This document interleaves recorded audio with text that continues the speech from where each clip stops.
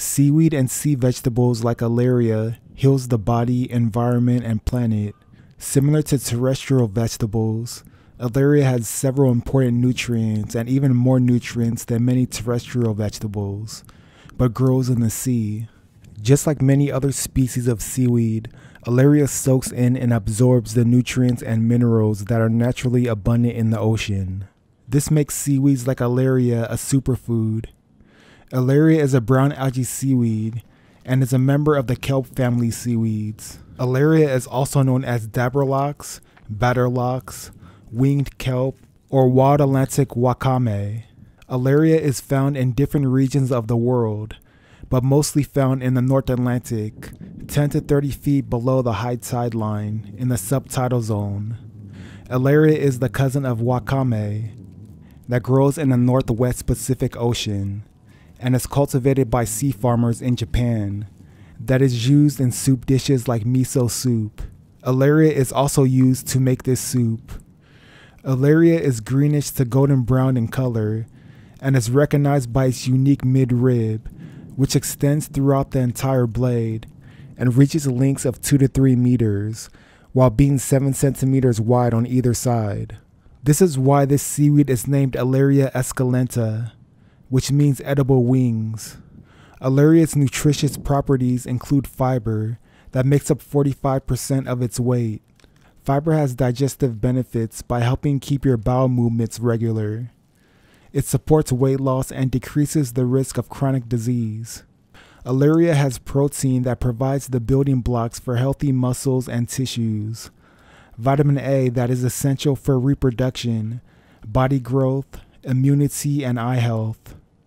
Vitamin K that helps wounds heal and supports strong bones. Vitamin C that's involved in neurotransmitter synthesis, sending messages from the brain to the rest of the body. Alaria has high amounts of minerals like iron that helps people who are anemic. Iron is used to create a protein called hemoglobin that transports oxygen from the lungs to all parts of the body. Iron also produces a protein called myoglobin that carries oxygen to the muscles. Iron helps our muscles store and use oxygen. Alaria has another important nutrient called iodine. Many people get iodine from iodized salt, that is the inorganic form of iodine that is added. Alaria seaweed has natural organic iodine that is absorbed from the ocean and easier to absorb by the thyroid gland. The thyroid gland is part of the endocrine system and produces thyroid hormones that control metabolism, digestion, muscle function, and brain development. A diet with a healthy supply of iodine helps with normal thyroid function. One gram of alaria has approximately 100 to 200 micrograms of iodine.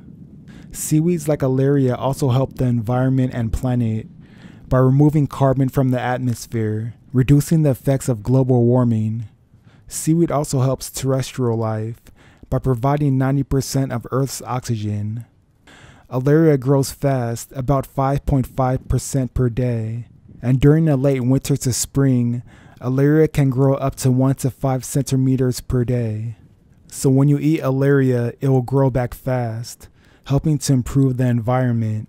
When I first ate alaria, I ate it in its dried form with a sandwich and also blended it into a green drink smoothie. It's chewy and edible dry and has a salty sea flavor. But when you pre soak this seaweed for an hour in water, it softens the texture, making it more edible.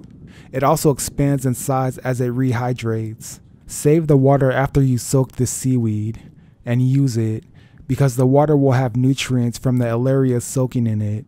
I'm coming close to finishing up my Alaria seaweed after about three years. The dried version of this seaweed lasts a long time because of its salt minerals from the ocean that helps to preserve it.